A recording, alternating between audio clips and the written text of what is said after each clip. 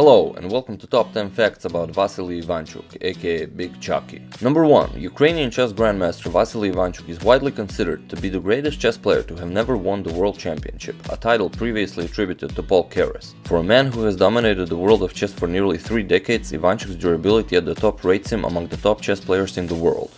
Number 2. At the age of 22, Ivanchuk got his first bit of recognition in the chess world when he won the Linares tournament, widely known as the Wimbledon of Chess, in 1991. In that particular event, the Ukrainian beat then reigning world champion and one of the chess greatest of all time, Garry Kasparov.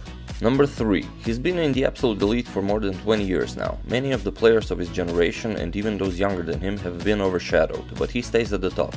Here's what Vasily says.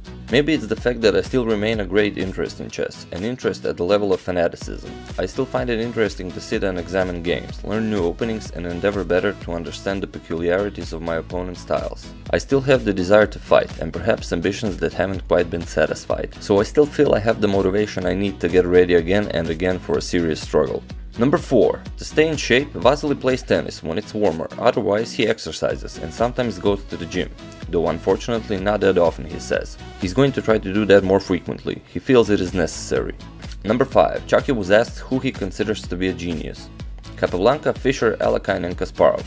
He doesn't consider Karpov to be a genius, and Tal is a mystery to him, he doesn't understand Tal.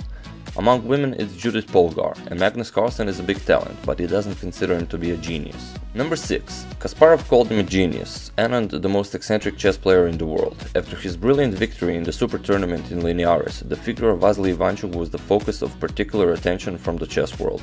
He was the one, according to all predictions, set to surpass Kasparov and Karpov and become the world champion. Number 7. The man with the black hair and bedroom eyes is known as Big Chucky by his fellow chess players. Why? Because after losing a game, he goes into the forest at night and howls at the moon to drive out the demons. Because he walks around in shorts in freezing temperatures. Because he likes to sit in dark rooms. Because he usually looks at the ceiling instead of the board during a chess match. Because he tries to fold the oversized winner's check handed out after a tournament down to pocket size. And because he, as Vishy Anand says, lives on planet Ivanchuk.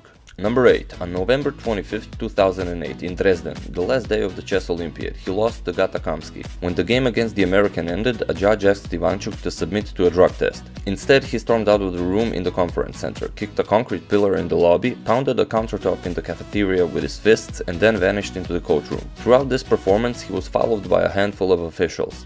No one could convince Ivanchuk to provide a small amount of urine for the test and because refusal is treated as a positive result, he was considered guilty of doping and could have been banned from professional chess for two years. Luckily, this didn't happen. Number 9. Vasily Ivanchuk lost only one game in Wijk aan Zee 2015 and in an interview afterwards mentioned that it might have been because he failed to read enough Philippine folk tales to understand his opponent Wesley So. One time Ivanchuk defeated Kasparov in a rapid tournament held in Prague. In the post-match interview a reporter asked him what was the factor that motivated him to reject Kasparov's draw offer and go for a win. Here's what Chucky said. I went to watch a bullfight last night. The raging bull, it motivated me. That's the kind of eccentricity for which we love Chucky. And number 10. Before Ivanchuk had become a famous chess player, he was a little-known chess junior in one of the more rural parts of the Soviet Union. His trainer could see what tremendous talent Vasily had and decided to enter him in one of the strong national Soviet tournaments. On the way to this tournament he explained to Vasily that it was a great advantage that no one knew of him. This way he could prepare for his well-known opponents, but no one could prepare for Vasily. The trainer told Vasily that he should not let anyone know what openings he plays. Upon arrival, Vasily and his trainer ran into Grandmaster Suetin. Trying to make conversation, Grandmaster Suetin said, So, tell me Vasily, how do you open with the white pieces? Vasily replied, Well, I like to play e4 or d4, but I've recently started playing knight f3, however, c4 is my real favorite. Perplexed, Grandmaster Suetin said, Well, if I play d4, how would you respond? Vasily said, I'd play either d5 or knight f6, or maybe d6 or e6. Grandmaster Suetin thought Ivanchuk would be crushed in the tournament. After all, the poor kid obviously didn't have a real opening repertoire, so he decided to show Vasily a rare variation of the Queen's Gambit accepted.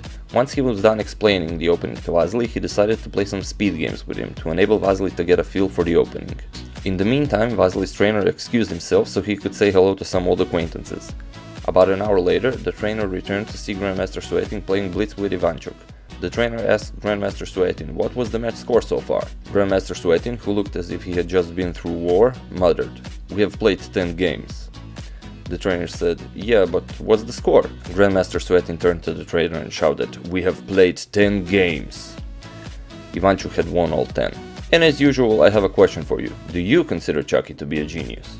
If you enjoyed this video, be sure to give it a thumbs up and a comment, and if you're interested when a new video will be released, subscribe to my channel and hit the little bell button after. Thank you all for watching and see you next week.